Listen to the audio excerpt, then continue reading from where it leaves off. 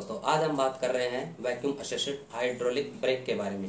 यानी कि जो हमारा ये वैक्यूम असिस्टेड हाइड्रोलिक ब्रेक है, ये कहाँ लगाया गया है और ये क्यों लगाया गया है और ये कैसे काम करता है, हम इसके बारे में आज इस वीडियो में चर्चा करेंगे। यानी कि जो हमारा वैक्यूम असिस्टेड हाइड्रोलिक ब्रेक है, वो कैसे काम करता है।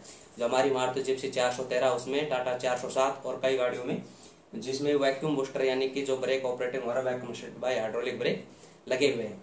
इस ब्रेक की ज़रूरत कब आई? जैसे सबसे पहले मैनुअल ब्रेक होते थे गाड़ी की स्पीड के अनुसार, उसके बाद हाइड्रोलिक ब्रेक आए। हाइड्रोलिक ब्रेक के अंदर क्या था कि जैसे वो हाइड्रोलिक ब्रेक पास्कल के सिद्धांत पे काम करता था, लेकिन उसके अंदर क्या था कि एक्सलेशन ज़्यादा, यानी कि ड्राइवर को ज़्यादा ताकत लगानी पड़ती थी, तब थोड़ा काम मिलता था, यानी ब्रेक तब अप्लाई होता उसके अंदर ड्राइविंग ताकत ज़्यादा लगती थी। इसी ऑपरेटिंग सिस्टम को और आसान करने के लिए, यानी कि चालक को कम ताकत लगाना पड़े, उसके लिए क्या करना पड़ा इसको? Vacuum booster assist by hydraulic brake का निर्माण किया गया। यानी कि इसके अंदर क्या था कि हमारा जो ब्रेक है, वो भी जल्दी अच्छे एफिशिएंसी के साथ ऑपरेटर और साथ में चालक को भी कम ताकत लगाना पड़े तो उसके ऊपर ही जो ये हमारा vacuum assist by hydraulic brake है, इसमें काम करता है। यानी कि इसके अंदर क्या करता है कि ड्राइवर की पावर कम लगती है और हमारा जो ब्रेक है, वो ज़्यादा एफिशिएंसी प्रदान करता है। तो आज इस वीडियो में चर्चा करेंगे जो हमारा वैक्यूम असिस्टेड हाइड्रोलिक ब्रेक है कैसे काम करता है। और इसके अंदर कौन कौन से भाग काम करने वाले हैं? और जो हमारी सर्वो यूनिट है, यानी कि इसको वैक्यूम बूस्टर है सर्वो यूनिट उसको वैक्यूम बूस्टर के नाम से जानते हैं कि हमारा काम कर रहा है नहीं कर रहा है, उसको कैसे चेक करते हैं, उसको भी हम देखेंगे कि इस वीडियो में जानेंगे इसको कैसे चेक करते हैं। तो सबसे पहले हम देखते हैं कि इसके अंदर काम करने वाले भाग कौन कौन से हैं। जो हमारा वैक्यूम असिस्ट हाइड्रोलिक ब्रेक है इसके अंदर कौन कौन से भाग काम करने वाले हैं। इसके अंदर सबसे पहले ऑपरेटर सिस्टम जैसे हम चलेंगे, यानी जिस हिसाब से गाड़ी में लगे, उस हिसाब से ब्रेक पैडल ब्रेक पैडल से पुश रोड पुश रोड से होते हुए क्या है कि जो हमारा ये वैक्यूम बूस्टर है, इसको सिलेंडर के नाम से जानता है। उसके आगे टंडम मास्टर सिलेंडर है रिज़र्व है और इसके अंदर जो टंडम मास्टर सिलेंडर इसको इसलिए बोला गया है क्योंकि इसके अंदर दो पिस्टन काम करते हैं।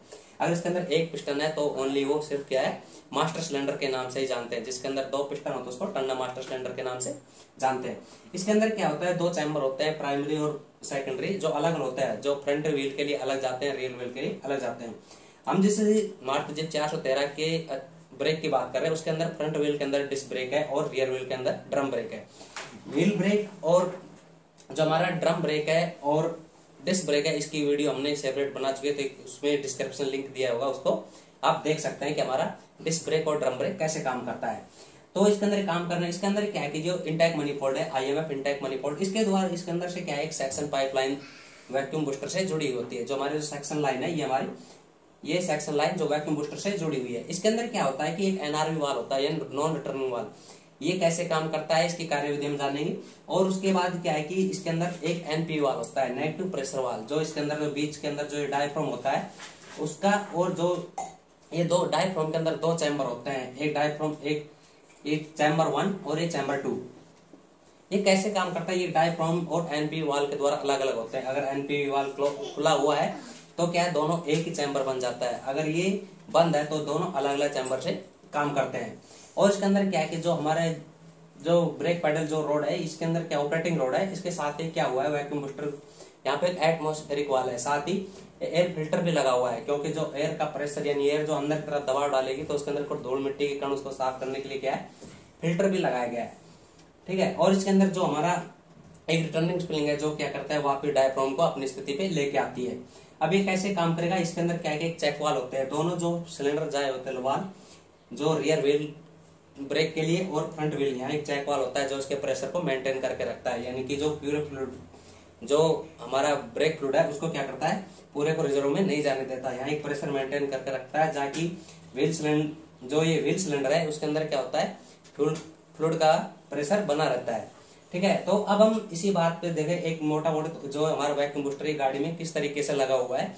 ये जो देखो, ये हमारा वैक्यूम बूस्टर है और ये इसके आगे टंडन मास्टर सिलेंडर लगा हुआ है। ये दो इसके चक चक जो चैक वाला है, उसके अंदर अलग अलग लाइन गई हुई है और ये इसका रिजर्वर है। ये जो हमारा वैक्यूम बूस्टर सराउंड है, चार सौ सात गाड़ी का है। ठीक है? तो इसके अंदर ये अलग अलग तो अब हम बात करेंगे कैसे काम करता है। सबसे पहले हम इसके बारे में non apply position non apply position यानी कि जब हमारा ड्राइवर पैडल क्या करता है, किसी प्रकार का ब्रेक पैडल को ऑपरेट नहीं करता, यानी कि जब चालक हमारा ब्रेक पैडल पर पैर नहीं रखता तो क्या कार्रवाई होती है? हमारा इंजन स्टार्ट होता है तो क्या करता है जो सिलेंडर बोर के अंदर सेक्शन स्टोव सेक्शन जो सेक्शन होता है सेक्शन के अंदर चलता रहता है। तो जब सेक्शन की कार्रवाई होती है तो उसके अंदर इंटैक्ट मनी के अंदर चूस पैदा होती है, यानी शक पैदा होता है। जो वो शक होता है, जो एनआरई वाल होता है, वो शक हमारे डायफ्राम पर भी पड़ता है। ये क्या करता है, इसको जाने तो देता है लेकिन जो वापिस उसको आने नहीं देता। यानी जो शक पड़ेगी इंटैक मनी फोल्ड की जो चूस पड़ती है सेक्शन स्ट्रोक के दौरान तो क्या है, वो इंटैक मनी फोल्ड से होता है क्या, हमारे जो डायफ्राम यानी कि सरुंड है उसके अंदर भी इसकी चूस पड़ती है। साथ ही जब ये इसके अंदर चूस पड़ती है तो हमारा जो ब्रेक पेडल ऑपरेट नहीं है तो हमारा एटमोस्फेरिक वाल क्या होता है? बंद रहता है। यानी जो हमारा जो एटमोस्फेरिक वाल है, ये बंद रहता है। और जो डायफ्राम के अंदर जो एनपी वाल लगाता है नेगेटिव प्रेशर वाल वो क्या होता है कि खुला रहता है। यानी कि जब हमारा ब्रेक अप्लाई नहीं होता है तो इंजन स्टार्ट रहता है तो सेक्शन स्टॉक की कार्रवाई के अंदर जो डायफ्राम में चूस पड़ती रहती है इंटैक मनीफोल्ड से। जो सेक्शन पाइप है, उसके द्वारा तो क्या करता है, जो हमारा एनपी वाल खुला होता है, और जो ये हमारा डायफ्राम में दो चैम्बर है, वो क्या करता है एनपी वाल खुला होने के कारण पूरा एक ही चैम्बर बना रहता है, जिससे वो चूस जो लगातार पूरे चैम्बर में पड़ती रहती है, और इतना दवा उस पर जो हमारे पुश रोड के ऊपर उतना नहीं पड़ता। ठीक है? तो ये था हमारे, कि हमारा ब्रेक अप्लाई हम नहीं कर रहे, उस टाइम क्या कंडीशन होती है? उस कंडीशन क्या होगा, कि सक्शन स्ट्रोक के दौरान चूस क्या कि पूरे डायफ्राम पे पड़ती है, क्योंकि इसके अंदर एनपीवी वाल खुला हुआ है और जो एटमोस्फेरिक वाल है वो बंद है। अब इसके अंदर बात करेंगे कि हम क्या करेंगे, जैसे ही ब्रेक अप्लाई करेंगे, यानी कि जैसे ही ड्राइवर ब्रेक पेडल को दबाता है, तब क्या कार्रवाई होगी? जैसे ही ड्राइवर क्या करेगा, जैसे ही ड्राइवर ब्रेक पेडल को दबाएगा ब्रेक पेडल को दबाने से ऑपरेटिंग रोड के द्वारा ऑपरेटिंग रोड ये जो ऑपरेटिंग रोड है, इसके द्वारा क्या है कि जो हमारा एटमोस्फेरिक वाल है, ये खुल जाता है। जब एटमोस्फेरिक वाल खुलता है तो उसका जो एयर का प्रेशर है, जो हमारा बाहर क्लाइमेट एयर का प्रेशर है, वो क्या करता है? अंदर आने लगता है इस वाल के द्वारा। और फिर जैसे अंदर आता है तो ये क्या करता है? जो एनपी वाल है, ये क्या होता है? हमारा बंद हो जाता है। इसके बंद होने से ये हमारा एक, दो अलग अलग चैम्बर बन गए, यानी कि एक सी वन और एक सी टू तो इसके अंदर क्या होता है? एक तो एटमोस्फेरिक वाल का प्रेशर इसके ऊपर डायफ्राम पे पड़ता है। ठीक है? यानी कि एस नोट फेरिक वाल के ऊपर इसका प्रेशर जब हमारा ऑफ़ पोजीशन में था, तब एनपी वाल खुला था तो क्या था? पूरा जो दो चैम्बर थे, वो एक ही चैम्बर भी बना हुआ था। लेकिन जैसे ही ब्रेक पेडल को अप्लाई किया तो एनपी वाल नेगेटिव प्रेशर वाल हमारा बंद हो गया और जिससे जो डायफ्रोम है, ये पूरा अलग चैम्बर हो गई। यानी कि सी वन चैम्बर अलग C one chamber C two chamber अलग। अब इसके अंदर क्या होगा? जैसे ही ब्रेक पेडल अप्लाई किया तो ब्रेक पेडल पर एटमोस्फेयर वाल खुल गया। इसके जो हमारे वातावरण का जो प्रेशर है एयर का प्रेशर फ़िल्टर से साफ़ होता हुआ एयर का प्रेशर किस पे पड़ता है? डायफ्रोम पे पड़ता है।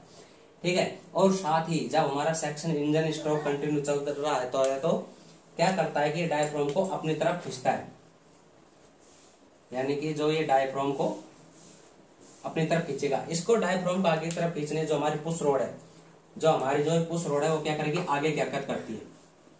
ठीक है? यानी कि जैसे हमने ब्रेक पेडल को अप्लाई किया, एक तो एटमोस्फेयर यानी कि जो हमारे क्लाइमेट का प्रेशर एयर का चौदह पॉइंट सात, जो पीएसआई का प्रेशर है, वो डायफ्राम पे प्रेशर डालता है। साथ ही इंजन स्टार्ट होने जो इंटेक मनी पॉइंट के अंदर जो चोस पड़ रही है सक पड़ रही है, उसके कारण भी क्या है कि जो हमारा सेक्शन पाइप के लाइन के द्वारा जो हमारे डायफ्राम पे उसके ऊपर दबाव पड़ रहा है। यानी कि जो सक्शन स्ट्रोक के दौरान भी डायफ्राम को आगे की तरफ़ खींच रहा है। इसके आगे तरफ़ खींचने से जो हमारी रिटर्न स्प्रिंग है, वो अंदर की तरफ़ हरकत करती है, यानी वो दबती है, साथ ही पुश रोड को क्या करते हैं, आगे की तरफ़ धकेलती है। पुश रोड को आगे की तरफ़ धकेलने से उसके साथ ही लगा टंडम मास्टर सिलेंडर जो हमारा टीएमसी लगा हुआ है, क्या? टंडम मास्टर सिलेंडर जो हमारे शरीर है, उसके साथ ही लगा हुआ है। इसके साथ लगा हुआ के कारण क्या है, जो पुश रोड आगे की हरकत करेगी। तो इसके अंदर टंडम मास्टर सिलेंडर के अंदर बने पिस्टन वन और पिस्टन टू, यानी कि अलग अलग पिस्टन और उनका रिटर्न स्प्रिंग जो फ्लूड है रिजर्वर से आया हुआ फ्लूड जो टंडम मास्टर सिलेंडर के अंदर भरा हुआ था अलग अलग रिजर्वर जो उसके भरे हुए थे और साथ ही जो व्हील सिलेंडर तक गया हुआ था प्रेशर फ्लूड का तो उसके अंदर क्या करता है फ्लूड का प्रेशर और ये आगे के पिस्टन आगे की हरकत करता है। पिस्टन आगे की हरकत करने से क्या, आपके जो फ्लूड पे दबाव पड़ता है और फ्लूड क्या करता है, पास्कल के नियमों के अनुसार सभी जगह पर समान दबाव बनाते हुए क्या करता है व्हील सिलेंडर तक पहुँच जाता है। इसके अंदर व्हील सिलेंडर के अंदर पहुँचने से क्या है कि जो हमारा फ्लूड है, यहाँ तक पहुँचने से, जैसे ही फ्लूड व्हील सिलेंडर में पहुँचता है तो क्या करता है व्हील सिलेंडर के अंदर लगे हुए रियर व्हील के लिए। रियर व्हील के लिए जो लगा हुआ व्हील सिलेंडर है, उसके अंदर जो दो पिस्टन बाहर की तरफ़ खोलते हैं और जो ब्रेक शू है, उनको ड्रम के साथ चिपका देता है और हमारा ब्रेक अप्लाई हो जाता है। साथ ही जो फ्रंट व्हील के अंदर गया वो फ्रंट व्हील के अंदर डिस्क ब्रेक है, उसके अंदर क्या है, जो डिस्क के अंदर जो कैलिपर असेंबली लगी हुई है, उसके अंदर जो डिस्क पैड है, वो क्या करते हैं डिस्क को पकड़ लेते हैं। और यहाँ तक हमारा ब्रेक अप्लाई हो जाता है। यानी कि जो हमारी ब्रेक अप्लाई पोजिशन है, उसके अंदर क्या है हमारा? एटमोस्फेरिक वाल खुला रहता है। एनपी वाल क्लोज रहता है। उसके अंदर प्रेशर एक तो एटमोस्फेरिक का प्रेशर पड़ता है, जो डायफ्राम को आगे तरफ़ धकेलता है। साथ ही इंटैक मनीफोल्ड में पड़ी हुई चूस जो एनआरवी वाल के द्वारा सेक्शन पाइपलाइन से होते हुए डायफ्राम को अपनी तरफ़ खींचता है। साथ ही पैडल दबाने से पुश रोड भी आगे की हरकत करता है। इसका पड़ा हुआ प्रेशर जो क्या करता है? चालक को ब्रेक अप्लाई करने के अंदर मदद प्रदान करता है, जिससे हमारी पुश रोड मास्टर सिलेंडर के पिस्टन वन और पिस्टन टू पे दबाव डालता है, जिससे फ्लूड का प्रेशर चेक वाल या पाइपलाइन से होता हुआ, ब्रेक पाइपलाइन फ्लूड लाइन से होता हुआ, व्हील सिलेंडरों पे दबाव डालता है। रियर व्हील के अंदर ड्रम ब्रेक और फ्रंट व्हील के अंदर डिस्क ब्रेक होते हैं, जो कैलिपर असेंबली काम करते हैं और उसके ब्रेक शू लग जाते हैं। तो यहाँ तक थी इसकी कार्रवाई की, जो हमारा वैक्यूम असिस्टेड हाइड्रोलिक ब्रेक कैसे काम करता है। अब हम ये जैसे ही हमने काम किया तो उसके बाद वापस नॉन अप्लाई पोजीशन में आएगा। नॉन अप्लाई पोजीशन में आएगा, यानी कि ब्रेक पेडल से जैसे ही हमारा ड्राइवर पैर हटाएगा तो उसके अंदर क्या होगा? जो हमारी रिटर्निंग स्प्रिंग है, यानी टंडा मास्टर सिलेंडर के अंदर जो रिटर्न स्प्रिंग है दो ये जो, ये वापस क्या करेगी? अपने तनाव पूरा करेगी। यानी कि जो स्प्रिंग है, ये वापस तनाव पूरा कर, इससे क्या होगा? पिस्टन पीछे की हरकत करेगा। पीछे की हरकत करने से वापस आकर जो हमारे इसके अंदर फ्लूड का प्रेशर गया हुआ था, या तो क्या होगा? वापस धीरे धीरे फ्लूड ऊपर की तरफ़ आएगा। ठीक है, दोनों के अंदर फ्लूड क्या है? ऊपर की तरफ़ आएगा। ऊपर की तरफ़ आने से क्या है कि जो हमारा चेक वाल है, जो ये चेक वाल लगा हुआ है, जो ये चेक वाल लगा हुआ है, ये क्या करता है? निश्चित मात्रा में ही फ्लूड को ऊपर आने देता है। यानी कि जहाँ तक हमारा फ्लूड आता है, इसके लाइन के अंदर जो फ्लूड भरा रहता है, यानी कि हमेशा इसके अंदर जो हमारा वेल सिलेंडर तक क्या है? फ्लूड का लेवल बना रहता है। और ये जैसे ही हमारे रिटर्न स्प्रिंग पूरा करती है तो पिस्टन पीछे हरकत करता है। जो फ्लूड इसके अंदर क्या हुआ था, इसके पीछे पीछे भरना शुरू कर देता है। ठीक है? और उसके बाद जो रिटर्न स्प्रिंग है, ये वापस क्या करती है? डायफ्रोम को पीछे की धकेल होती है, जो एनपी वाल का होता है, हमारा खुल जाता है। और हमारा पुश रोड है, वो क्या करता है? पीछे करकत करता है। एटमोस्फेयर वाल बंद हो जाता है। तो और उससे जो फ्लूड है, वो पीछे की तरफ़ हरकत करता है डायफ्रोम पीछे, और हमारा जो ब्रेक है, वो नॉन अप्लाई में हो जाता है। तो यहाँ तक थे हमारे जो, हमारा वैक्यूम शिफ्ट बाय हाइड्रोलिक कैसे काम करता है, यानी कि जो सर है, उसका काम क्या है? यानी कि सर जैसे, बाकी तो आगे जो हमारा हाइड्रोलिक ब्रेक जैसे काम करता है, वैसे ही काम करता है। मेन हमारा जो सर यूनिट है, उसका क्या काम है?